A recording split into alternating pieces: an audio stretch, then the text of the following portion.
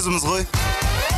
Қайырлы кеш эфирде өзіміз ғой. Ендеше қалатындар қалып шығатындар шығып кетсін өзіміз отырып э, өзіміз қойды бастайық. Бүгінгі біздің қонақтарымыз ә, енді қалай айтса болады рекордсмендер бір болайық бағдарламасының жүргізушілері шах керім және де шахтан да керім аша матай қайырлы күн баршаларыңызға қош қалай келдіңдер таныстырды дайындалдым дайындалдым. Дайындығың жаман емес. Бәрекелді қош келдіңдер. Қош көрдік. Қалай көңіл күйлерің жақсы? Бәрі күшті аман есен жақсы жеттіңдер ме? Жақсы жеттік ойдағыдай. Бірер күн бұрын ғана ғашықтарды қосатын бір болайық бағдарламасының мыңыншы эфирі болыпты құтты болсын. Рахмет рахмет. шынымен Керемет. Ә, шынымен де жаңағы дұрыс айтасың қазақстанның жаңағы телевизия тарихында рекордтарды жаңартқан шынымен түскі уақытта ә, осында осыншама рейтинг алып келу деген үш сағаттық тікелей эфирде енді аша ғой аша ашаның қолынан бәрі келеді. Жақпен бірге әрине. Иә сол бір біріңізді мақтап отырайық енді сөйтіп. күшті ғой енді өзіміз ғой енді бір бірімізді иә, шынымен шынымен. Былай ғой жалпы бұл жерде мәселе ә, уақытта содан кейін тікелей эфирде. Жалпы уақыт үш сағат шынымен де ә, қалаулым жобасына дейін үш сағаттық тікелей эфир деген ұғым жалпы ә, естерің дұрыс па деген сияқты жауапқа алып келетін бір дүние еді біздің ә, телевизия кеңістігінде. Бірақ ә, осындай батыл қадам жасадық. Екіншіден енді елбасымыздың өзі бір жарым ғана сағат болады да тікелей соны айтам соны айтам. Ал біз үш сағат деп бірден ә, жаңағы аузымызды кеңінен аштық. Содан кейін соған сай болу керек болды. Жалпы студияда қонасыз тұра ма әлде? Біз сонда өмір сол сүреміз жоқ енді мына жақта э, бесінші маусым жүз үш мың үш жүз қырық мың сағат деді мәссаған. үш мың үш жүз отыз бес шырқалған ән екі жүз сексен бір қатысушы он бір немере он жеті шаңырақ. Көтерген жұп дейді. Он сегіз мың екі жүз алпыс үш үміткер дейді. Не деген көрсеткіш кім санады бұл статистика негізі? Иә бұны кәдімгідей ә, жалпы кез келген жобаны жасаған кезде біз әуелгі бастан солай келіскенбіз. Күнделікті жаңағы счетчик жүріп отырады бізде. Күнделікті эфирдің ә, жаңағы шағын анықтамасы. Қанша үміткер келді қанша ән шырқалды иә соның бәрін кәдімгідей бір жинаған кезде күшті excel деген программа бар соны қоса салған кезде вау деген ақпаратты шығарып енді үмітіміз болды ғой иә. Аша ханым сізде болды ма? Ә, бұл мыңға дейін барады ертең қа- қазақстанды шулатамыз деген ой туындады ма негізі басында? Өзіңіз сездіңіз ба бірдеңе? Бас көзіндегі болған біздің альп мырза продюсері осы жобаның. Және сол кісі ә, мен жолыққан кезде ол кісі бірден айт- айтқан болатын. Осы жобаны ашсақ бұл жоба минималды түрде 10 жылға дейін созылады деді. Содан кейін мен деген таңғалдым. Бізде енді ондай бағдарламалар жоқ шыныменен біріншіден шахкерім айтқандай тікелей эфирде үш сағаттық бағдарлама болмаған. Екіншіден ә, күнделікті. Үшіншіден ә, тіпті бес жылға дейін созылған бағдарламалардың саны Аз, иә, қасы негізі. Сондықтан да 10 жылға созылады деп мен шынымды айтсам былай қатты сенбеп едім. Дегенменен өздеріңіз көріп тұрғандай бұл туындыға мінекей осы жылы бес әлі бес жыл бар десеңізші әлі болашағы зор деп ойлаймын. Қанша ұзату қанша тойға барып тастадыңыздар? Қанша құдалық бас құда болып? өткен жолы қанша есептедік? 17 той ә, тікелей эфирде орын алды. Ол біз мысалы бізде мынандай жағдай болған. Үміткер ә, танысуға келеді ғой. Иә. Ә, сөйтіп танысуға келген жандар бір бірлерімен эфир сыртында танысып үйленіп кеткен жағдайлар да болды бізде. А эфирге кірмей ма? эфирге кіріп бірақ жаңағы таңдаған адаммен емес эфир сыртында танысқан басқа үміткермен үйленіп кеткен жағдайлар. сіздерге айтпай өздері иә өздері. Оларды санамағанда 17 той 11 немере кәдімгідей үлкен көрсеткіштер. Аша тіпті мысалы камиланың ұзатуын өзі жасады кәдімгі үлкен тойға қатысты. Қаншама енді бұл ә, кішкентай болса да енді бір еліміздің демографиясына жастардың өркендеуіне қосқан үлесі деп ойлаймын. шынымен а сіздер қалай хабарлайды? Тойда бас құда дей ма әлде? Қандай рөлде барасыздар Құдалар. жаңа құдалармен кіріп барасыздар ма әдетте енді білмеймін енді. Ә, шах керімнен де керім аша матай деп шақырғанға не, де- не деп хабарлау керек басқаша? Заманауи құда аша матай десе жеткілікті ғой болды түсінікті ғой бәрі. Негізі күшті екен иә прикинь қалаулымда үйленсең өзің тойың еще қалаулымда той бүкіл әлем көреді тойың бүк- иә қандай не ойланып жүрсің рауан соны түсінбей жүрмін бар ғой. Әлі осы жігіт рауан ағаны мысалы қанша рет қонаққа шақырдыңыздар осымен ойбай Ра- рауан почти бізден нештатный қатысушы ғой. Да иә шын айтамын. Ол жақта өлең де айтты қонақта қонақта болып барды в общем жоқ енді саған тек үміткер болып бару керек қой енді мен немесе біз үміткер алып келейік. негізі Иә. мен сияқты мен сияқты бойлары бір күшті сондай типажный сондай қыздар келе ма негізінде? Ой, қыздар мен жігіттер келеді ғой негізі. Да бойы кішкентай андай какие хочешь қой? Да на выбор ма? Иә. Міндетті мен түрде айтайын ойлану керек. рауан барса үш күннің ішінде той жасап беремін. Шын айтамын. Да? Е, Мә, Шәкен саған қатты мощный заявление. рауан ағамыздың мамасы отыз жыл болды той жасамай жүргеніне. Үш күнде деп. Иә иә сол. Тағы да бір қолынан келетін ойлап қалды ойлап қалды ойлап қалды ойлап қалдым что то действительно биыл енді сұрақ сұрақ бергенде маған күзге дейін үйленбесең үйден кет деген. Тікелей эфир болғандықтан менің ойымша қызықтар көп болады Мгм. шұжықтарымен бірге. Әрине. Ең есте қалған өздеріңіз үшін енді бір топ ә, үш шұжықпен қызықты айтып берсеңіздер. Тікелей эфир ыыы арасында неге? жарнамаға кетіп жатырмыз содан кипиш басталды. Содан кейін барып менің ә, сол студияма көптеген адамдар жинала бастады. Менің құлағымда шахкерімнің е- ә, не дауысы естілмейді шахкерім қайдасың не болып жатыр десем бәрі дұрыс бәрі дұрыс аша ештеңе етпейді. Ә, жүргізе бер Жалғастыра эфиріңді бер. жалғастыра бер көңіл күйің түспесін деп мен деген түсінбеймін. Кәдімгі болып жатыр барлығы. бәрін айтып отырсыз ғой. Жарнамаға кетеміз дейді. Қазір мына үміткер келе жатыр. Үміткерді қарсы алуға болады. Немесе шығарып сал деген сияқты. Мынандай нелерді айтып тұрады негізі құлаққа. Бір қарасам шахкерім жоқ. Содан кейін кипиш біреулердің көздері ұсқындары жоқ кәдімгідей адамдардың. Не болып жатыр десем содан кейін шахкерім былай жақындап енді «Е, сен де уайымдап кеттің ғой уайымдама бәрі дұрыс мына жаққа келген бір үміткер қыз қыз үміткердің әке шешесі біліп қойыпты да әкесі мынандай адам бір айтпай ақ қояйын енді кім екендігін. Кәдімгідей охранамен бірнеше машина келген бізге тоқылдатып барлығын бытшытын шығарамыз. Қазір ә, тікелей эфир болсын не болсын барлықтарыңызды в общем сол жерде қаласыздар деді ғой.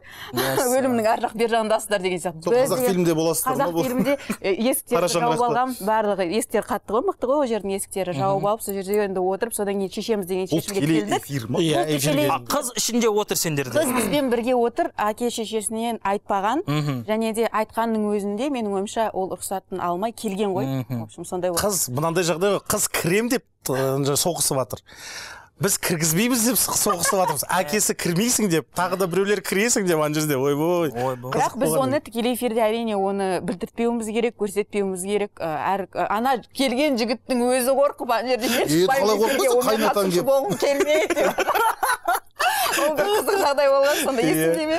тол көтер неме бітті қызын алып кетті немен бітті мен жоқ тоқ көтерін кәдімгідей шықтық сөйлестік не қалай бәрін. Соның бірақ оның бәрі уақыт қой. Мына жерде былай ғой ол кезде біз контейнерде отырамыз ре- режиссерский площадка. Сол енді біреу тоқылдатады шахкерім деген кім? Шық деп тұра тұр эфир жүріп жатыр деп ана жерде өзім дірілдеп жатырмын ана жерде. Не болады екен соңында содан кейін шықтық енді. Адамбыз ғой сөйлестік түсініспеушілік болғанын аңғарды екі тарапта не болғанын содан кейін бір ортақ мәмілеге келдік те сөйтіп жібердік. Бірақ ол кезге дейін енді біздің де қауіпсіздік жаңағы қызметкерлері дұрыс жасайды. Өйткені не болатынын білмейді ғой. Ана есіктерді құлыптап тастаған жаңағы продакшнның қолында күрек дайындалып отыр кәдімгідей қызық болған Ол осындай тікелей эфирдің қызық шұжықтары болып тұрады. Бұл дым қызық емес қой мынау. Бұл қорқынышты қорқынышты бұл көңіл күй мысалы ашаның бір і, әдеті болған. Ашаның негізі жүргізушіліге та- таланты орасан зор болғанменен төрт үш сағаттық эфирді концентрацияда ұстау қиын. Және мысалы айла тәсілдерін мен бір ойлап таптым да Ә, аша мысалы эфирде отырып ол көбінесе кадрға кірмейтін қатысушылармен кәдімгідей ойнайтын. Мысалы сулифа ойнайды басқасын ойлайды бірдеме ойнайды. Содан кейін үш екі бір аша кадрдасың деген кезде бүйтіп уже автоматом ба уже. Бір қызығы содан кейін ә, бізде екеумізде таза бір әзіл болатын мысалы өте сондай күңірентетін бір Әңгіме. жылататын бір әңгіме айтылып жатады студияда. Ал мен келемін де енді ашаның жаңағы контрастынан ұстаймын да. И орысша әзілдеймін құлағына. Ашада ойым былай ғой. Аша күлмеу керек мен күлдіруім керек. Кәдімгідей максималды серьезный тұрғызып алып иә. Жылай алмай отырасың күлкім келіп отырады ішімнен енді қайтем адаммын ғой. Иә сөйтіп әзілдеймін. Ә, кәдімгідей қызық болатын сол енді ана адам. Енді сендерде күнде эфир иә былайша айтқанда. Сол жақта таңертеңнен кешке дейін жүресіңдер. Уақыт жоқ мүлдем. Бір ауырып жүргізген сәттер болды ма? Эфир әсіресе бірінші маусымда неге қиын болды десеңіз енді шахкерім де оны растайды ғой. Ә, халқымызға халқымызға үйреншік- үйреншікті нәрсе емес. Және де үлкен дауға туды Иә. кәдімгідей негатив пайда болды. Стресс. стресс болды. Менде бізге жазылған негатив мысалға. Инстаграм желісінде жазылады. Қоңыраулар болды. Маған деген менің ә, туған туысқандарға иә. туған туысқандарыма ата анама деген сияқты. Жалпы отбасыма өте жеңіл болды деп айта алмаймын. Бұл біздің ә, телевизиялық аудиториямыздың бір қазақылануына кішігірім лебін тигізген сияқты иә қазақша сөйлеп Иә, бастадық. Көбіміз қазақша сөйлей бастадық. қазақ кинолары қазір дамып жатыр мысалы соның арқасында. Деп ойлаймын мен. Барлығы цепной реакция дейді ғой енді осы бір біріне білінетін нәрсе. Мен иә жалпы араласайықшы. Ойы деген. Қатысушыларға байланысты сұрақ енді. Көбінесе сіздерде жаңағы асаба әнші биші кәсіпкерлер көп екен де орталарында қатысушылардың ортасында. Сонда бір болайықта қарапайым адамдар жоқ па? А мынандай бір қызық айтайын ба? Бізде жалпы қоғамда асаба әнші биші солар көп қой негізі. Енді бұл та- таза қазақстан жастардың статистикасы. Әнші. Мәселе тағамда каждый второй қазіргі таңда бәрі әнші ба? жүз мың клип шығарып әнші. жүреді да хайп қуалап келген қатысушыларды қалай танып қоясыңдар осы сендер? Осы өздерін көрсетіп қояды ғой. көрсетеді ғой. Сразу көрсетіп бірден біліп қоясыңдар да. Бес маусым бойы иісінен біліп қояды шағады ғой. Көздеріне қарап уже психолог шығарсыңдар сендер да. Уже барлығын білетін шығарсыңдар бірақ ол деген оны таңдап іздеп ойбай сен деп оны әшкерелеудің қажеті жоқ. Олар өздері көрсетеді. Өйткені мысалы хайп жасауға келдім мен демек оны бірдеме істеу керек қой студияда. А істеп жатқанын көрген кезде е айналайын деп отырасың жақсы рахмет. Сау болыңыздар шар саласыз сразу ма? Негізі өздері өз келген қонақтардың жаңағы қатысушылардың өздері істеп алады ғой сіздерге бір иә жаман өйткені бізге айтатын сендердің сценарийлерің деп кейде бізде мысалы мынандай дүние болып кететін ә, қатысушының немесе үміткердің құрылған бір сценарийі болуы мүмкін. Мысалға көбісі ойлайды сол замира. аты шулы замираны білесіздер ғой- білесіздер ғой енді? білеміз, білмеу иә. мүмкін емес иә. Инстаграмы өшіп қалған кезде көргем. Прямой эфирде сол замираны барлығы ойлайтын негізінде. Ол сценариймен жүреді оған әдейі шақкерім немесе аша бірдеңе құлағына сыбырлайды да ол сөйтеді деген сияқты. Мен сіздерге шынайы айтамын. Ананы сыбырлау мүмкін емес. Мүмкін емес. Ол анау фантазияға келмейді ғой кәдімгі. рас кейбір адамдар тіпті айтады ғой мә замира шынымен осындай екен Иә. ғой иә ол осындай ол осындай ерекше жан өзінің мінезі бар өзінің кәдімгі ұстанымы табиғаты бар. Және замира қазақстанда жалғыз емес. Қазақстанда көптеген біз айтып отырмыз да біз демократиялық қоғам дейміз иә. Демократиялық қоғам деген бір бірімен келіспесең де бірге өмір сүре алу. Сондықтан бізде мысалы қазақстанда қаншама мысалы мінезді адамдар бар. Солардың барлығы жобадан да орын алу керек. Ол маған ұнай ма ашаға ұнай ма ол мәселе емес. Бар ма? Ол да үйленуге Иә, бір бақытты болуға процентажбен ол да лайық көрінді иә, иә. Иә, халықтың айнасы ғой былайша айтқанда. кәдімгідей әрине. Жәке бір интервьюңызда мен теледидардан көрген қазақстан мен ә, есікті ашып сыртқа шыққан қазақстан екі түрлі деп айтқансыз. Және де менің қазіргі ә, қалай болса мақсатым ә, сол ә, көзім көзбен көрген қазақстанды теледидардан көрсету. Деп айтқан болатынсыз әрине. Қазір сол мақсатыңызға енді әңгімеңізге қарағанда жеткен сияқтысыз дұрыс па? Әлі де жеттім деп айта алмаймын бірақ сол мақсаттың жолындамыз біз әлі де. Өйткені ә, жалпы теледидар бұқаралық ақпарат құралы ол не? Ол кәдімгі қоғамның айнасы. Қоғамда не болып жатыр соны көрсету. Тек қана міндет. Ештеңені қоспай ештеңені алмай қалай бар солай көрсету. Майлықтан алыстап иә. өйткені ол неге керек? Халық айнаға біз мысалы айнаға қарап ойбай мына жерім қисық болып кетіпті ғой деп түзейміз ғой. Сол үшін бұл керек. Әй мыналарды то қоғам не болып бара жатыр? Мына балама айтайыншы сен бойыңды түзеп жүр ей қыздардың тағдырымен ойнама деген сияқты дүниелерді түзеу үшін керек бұл. А, және кәдімгідей ол неғұрлым мысалы теледидарды қосқан кезде кәдімгі сол теледидардағы қазақстанда өмір сүргім келіп кетеді. Ал көшеге шыққан кезде «Ей, өзіміздің қазақстан екен ғой дейміз. Онда айырмашылық болмау керек. Ол айырмашылық үлкен болса онда ол өтірік дүниеге айналады. Ал өтірік теледидарды ешкім көрмейді. Иә ендеше сұхбатымыз иә қызық болған сияқты иә. Бітіп қалды ма ә, біз қалды. төрт сағат эфирге үйреніп қалған сендер как будто бір бір стакан шай ішіп болған сияқты болды ма біз шаршадық өздеріңіз үш сағат тағы түсіремін десеңіз.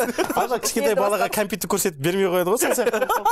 Рахмет бүгін бізде қонақта болған шах керім және де шахтан да керім аша матай. Ендеше бізде жарнама экраннан алыстамаңыздар рахмет келгендеріңізге сау саламатты болыңыздар. Рахмет рахмет көп көп а менің гүлім қайда? Саған менің артымнан ә?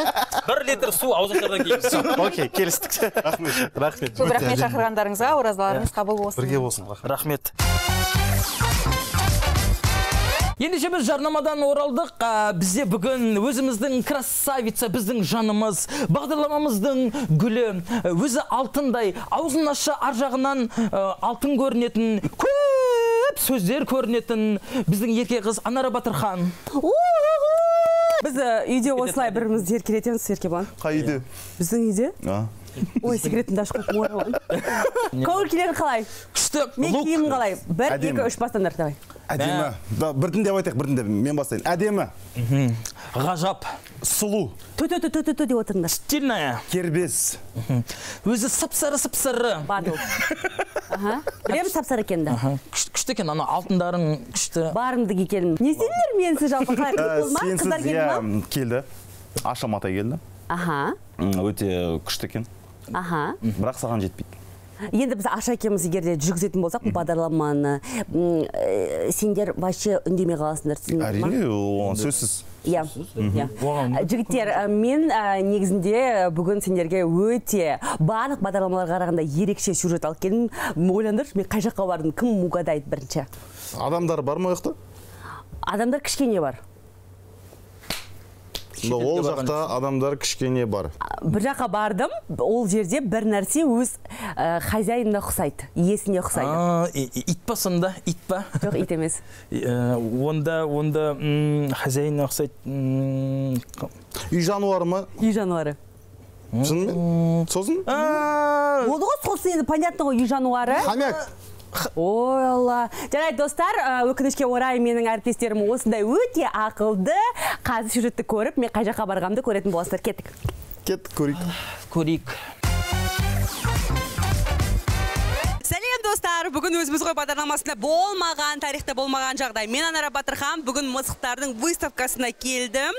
Жалпы негізінде мысықтардың выставкасына өзім бірінші рет келіп тұрмын. Бұл жерде жалпы қандай мысықтардың түрі бар қандай породалардың барын білетін боламыз. Сонымен бірге жүріңіздер.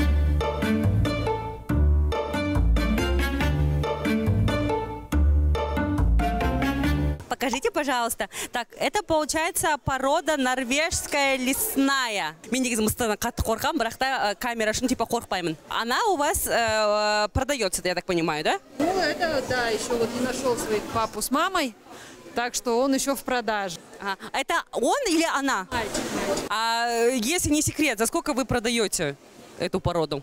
Ну, эта порода, она в- где-то в среднем тысячу долларов стоит. Ну, мы, конечно, А, а, а, тысячи долларов, это сейчас сколько? 500 тысяч где-то, да? Ага Мен саған мынандай мыс сатып алып. Ага, ладно.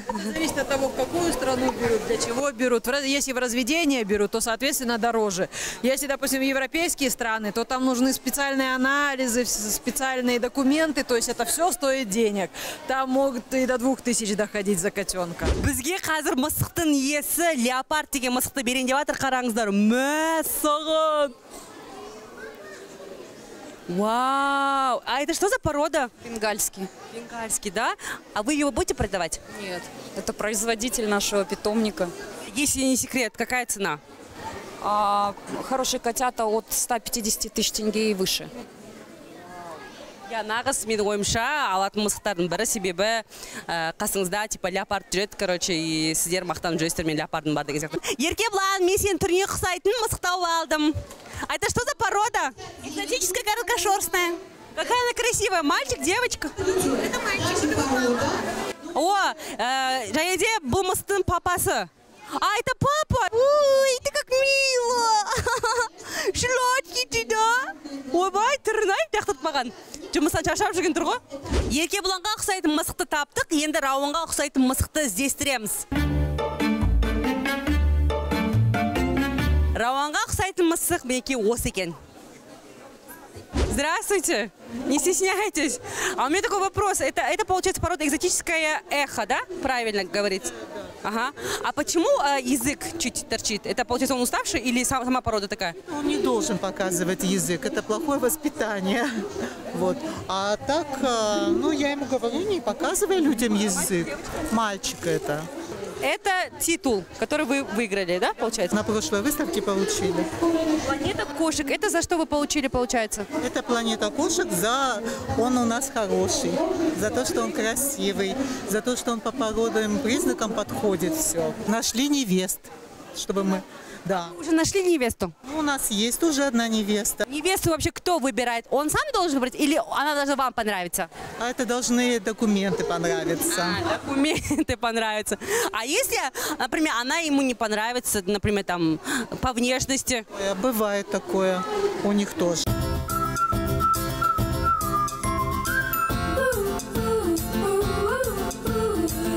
мысықтарды жақсы көресіздер ма иә өте қатты қай мысық қатты ұнады мейн кун мейн кун деген бізде ар жақта болды иә? Үйде мысық бар ма негізі? Ә, бізде өзімізде оралда тұрамын. И алты мысық бар үйде. Алты мысық? Оны қалай асырайсыңдар? Ә, хотя үйдегілер қарсы оған. Жаңа сұрадық бір жерде мысық 500 мың теңгеге дейін тұрады екен. 500 мың теңгеге мысық алатын ба едіңіз? Иә. Сізге- сізге бар алайыншы сіз иә иә. Аха сізге қандай мысық ұнайды? Британский ұнайды томпақ биттер все жақсы қыздар рахмет көп көп. Келесі жолы өздерің жалғыз тұрып күшті мысық алуларыңызға тілектеспіз. Иә достар шынымен де мысықтардың көрмесіне өте көп адам келеді екен. Бүгіннен бастап мен мысықтың неше түрлі породасы бар екеніне көзімді жеткіздім. Және де маған бүгінгі көрмеде ең ұнаған мысықтардың бірі ол өздеріңіз кадрмен көрсетесіздер тілі шығып тұрған мысық. Мен сол мысыққа қатты ғашық болдым. Ендеше еркебұлан рауан егер де өздеріңе мысық алғыларың келсе өздеріңе ұқсайтын осы жаққа келіп алсаңдар болады. Пока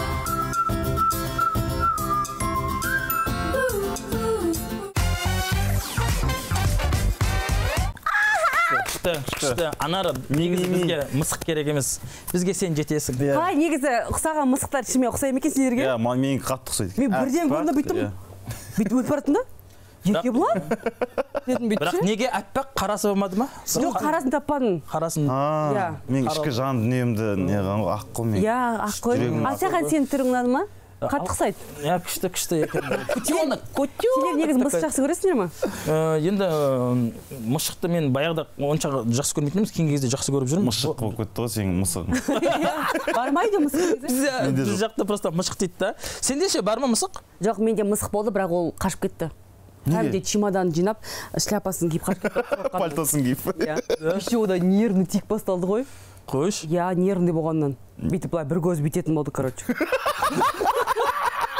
Қойшы не үшін а хозяины қандай қандай өзі сондай дейді ғой қылып тастаған ғой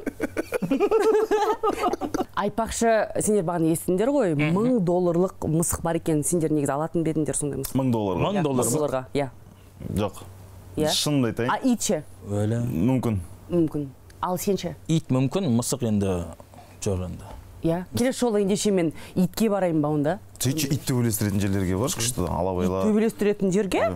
Арасында тұрып ал дейсің одан ғой. кейін одан кейін келесі жолы маймылдарға барып деген сияқты жаңағы зоопарк бірақ негізінде бар ғой иә өте қызық екен. Жоқ 500 мыңға өзің алар ма едің мысалы жоқ жоқ бес мың. Менің мен ойымша 500 мың примерно бір жиырма жеті мыңға алатын едім. неге жиырма жеті? Мен айтпақшы мен жаңа мысық болды деп айттым ғой. Сол мысықты маған негізі подарить еткен бірақ маған айтты да ол ой осындай осындай порода деп айттым. Оказывается ол дворняжка мысық екен мені алдай салған ғой. Иә. пихать етіп жіберді ма в общем иә. Ойдағыда ендеше мен сендермен отыратын уақытым жоқ. Болды. Ма? мен келесі алабайлар төбелесіп жатқан выставкаға кеткім жарайды жақсы рахмет. Ә, бізбен бүгін болған анара батырхан келгеніңе рахмет. Айтпақшы біздің көрермендер үшін ә, кішкене ғана тосын сый. Аха. келесі аптадан бастап. Кішкене бай давай. Иә. Келесі аптадан бастап өзіміз ғой бағдарламасын біз анара батырханмен бірге жүргізетін боламыз. Ал мен ал мен сіздерге осындай мысықтар жайында неше түрлі сюжеттер алып келетін боламын сендер мені сағынасыңдар мен неше түрлі платьялармен келетін боламын құрметті көрермендер сендер мені сағынасыңдар сендер де сендер де сендер де сендер де сағынасыңдар мен олай жасамаймын иә шынымен де бұл ә, біздің көрермендеріміз үшін де жақсы жаңалық болған сияқты ендеше құрметті достар келесі аптаға дейін өзіміз ғой қоштаспаймыз